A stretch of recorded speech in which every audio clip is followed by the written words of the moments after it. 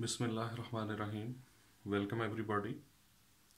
Today we are going to start the next topic of the basic organic chemistry and that is the reaction intermediates. You know that reaction intermediates are the unstable or short-lived species which are produced by the bond cleavage of the reactant molecules. Now what is bond cleavage? In order to understand this, you may watch my lecture of the types of the bond cleavage in the playlist General Organic Chemistry or Basic Organic Chemistry.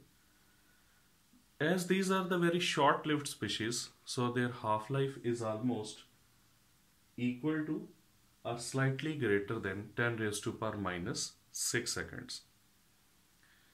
The reaction intermediates that we commonly observe or study in the organic chemistry include the carbocations or carbonium ion, carbanions and the carbon free radicals. So these are the three reaction intermediates that we commonly observe in the organic chemistry.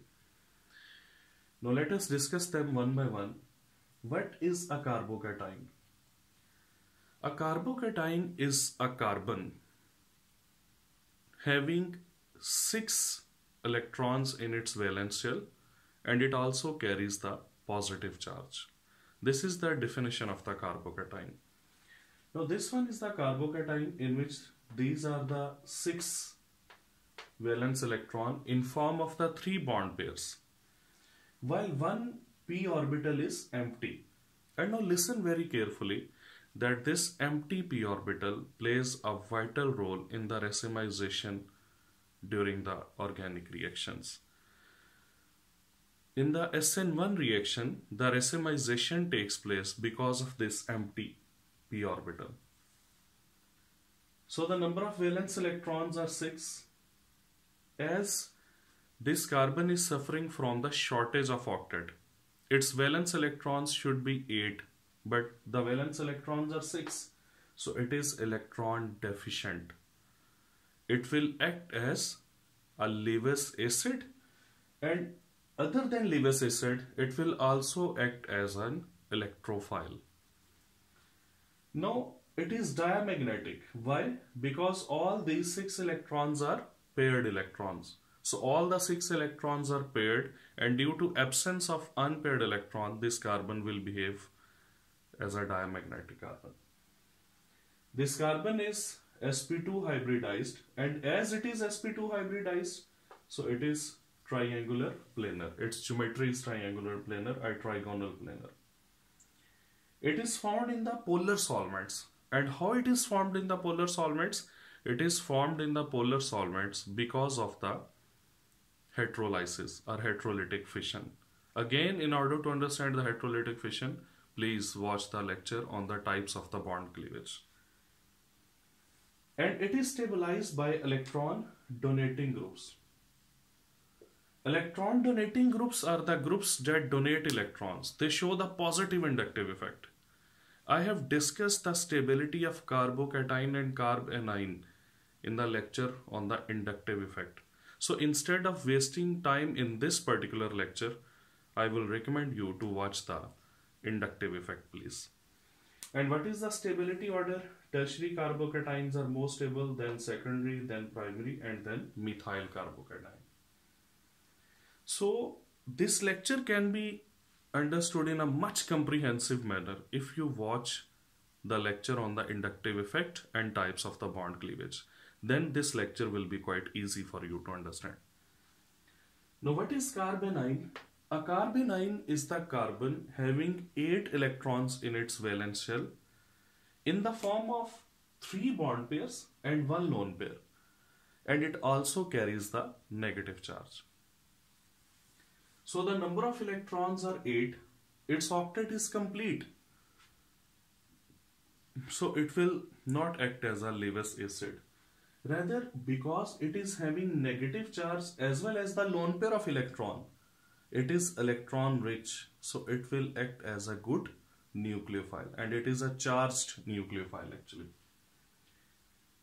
Again there are 8 electron in the form of 4 pairs so it will also be diamagnetic.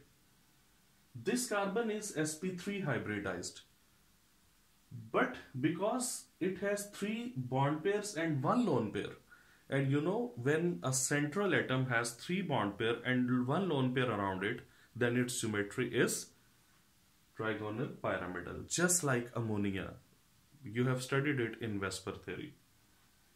It is formed by heterolysis or heterolytic cleavage it is stabilized by electron withdrawing groups because electron withdrawing groups will withdraw the electron from the negative carbon and its negative charge will be decreased and its stability will be increased.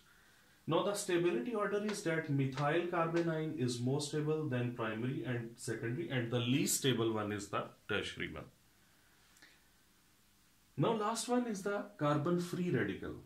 A carbon free radical is a carbon having 7 electrons in its outermost shell, out of which 3 are the bond pairs and 1 electron is the unpaired electron, unshared electron. So you can say that this carbon has odd number of electrons in its valence shell that is 7. Because this carbon has one unshared electron so it will always be looking for some species that will share electron with it or it will always be looking for an electron in order to pair up this single electron as it is always in search of the electron so it will behave like a neutral electrophile. As one electron is unpaired so it will be paramagnetic in nature. Again it will be sp2 hybridized and because of sp2 hybridization it will be trigonal planar. It is formed by homolytic cleavage or homolysis. It is stabilized by antioxidants. Antioxidants are the species that will share electron with it and they will stabilize the free radicals. And what is the order of the stability? Again, tertiary is more stable, then secondary, then primary, and then methyl free radical. The reason is because when we discuss the tertiary free radical. Now look at this. This one is the tertiary uh, carbon free radical. So this electron is not easy to approach because of the presence of the bulkier group. So it will be more stable. But if we make it secondary, then here will be hydrogen. Now you can see that the protection of this single electron that is weak now and this electron can be reached easily now as compared to the tertiary so it will be involved in reaction more easily. That's why it will be more reactive as compared to tertiary and less stable. If it is primary then obviously only a single bulky group is surrounding the carbon. So this electron is quite exposed due to which it will be more reactive. And if that is methyl then this electron is easiest to be approached because no bulky group is protecting it. There is no steric hindrance. So that's why it will be the least stable or the most reactive one. For discussion of the or for understanding the stability of carbocation and carb anion, please watch the lecture on the inductive effect. And in order to understand the types of the bond cleavage, you must watch the lecture on the types of the bond cleavage. Both these lectures you can find them in the playlist Basic Organic Chemistry. If you will watch these two lectures then that lecture will be quite easy for you. So this one is a comparison of the carbocation, carbanion and carbon free radical. If the difference is required in the exams you can write it down or there are every point is uh, an MCQ. So the multiple choice questions they can also be solved if you have an idea of these three. This was all about the types of the reaction intermediate. In the next lecture, we will come up with the types of the reagents. Till then, Allah Hafiz.